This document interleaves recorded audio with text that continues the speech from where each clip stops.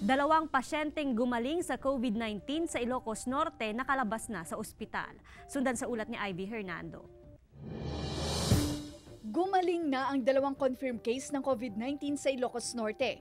Si patient 2405 na isang pahinante ng kargo at si patient 2409 na isang hepe ng pulisya sa lalawigan ay nakalabas na ng ospital.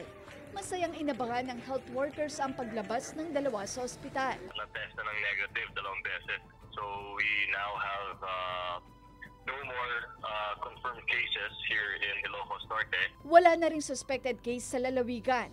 Handa na ang quarantine facilities ng iba't ibang bayan at lungsod para sa mga magsisiuwi ang residente pagkatapos ng enhanced community quarantine. And if not, the provincial government kami na lang mag-quarantine sa mga returning residents po natin to ensure na yung 13 days ay i-observe. Samantala, nadagdagan ng dalawa ang dating apat na suspected case ng COVID-19 sa Ilocos Sur. Gayunman, lima sa kanila ang nagnegatibo sa COVID-19 test habang hinihintay pa ang resulta ng isa. yung dalawa na ah, pa- negative din ang naging result.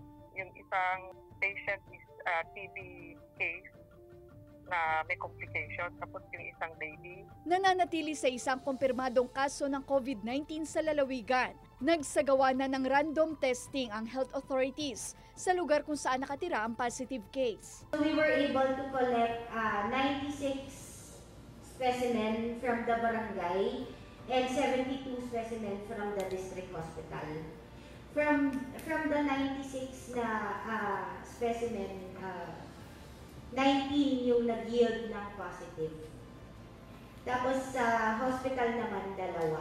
Handa na rin ang provincial government sa pag-uwi ng mga OFW at mga residente ng lalawigan na na-stranded dahil sa ECQ. Banta raw kung may tuturing ang pagpasok ng mga repatriated OFWs at seafarers sa lahat ng LGUs.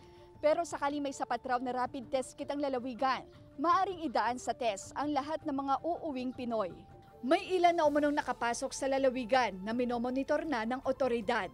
Kasama si Norman Raka, Ivy Hernando. Balitang Amyanan,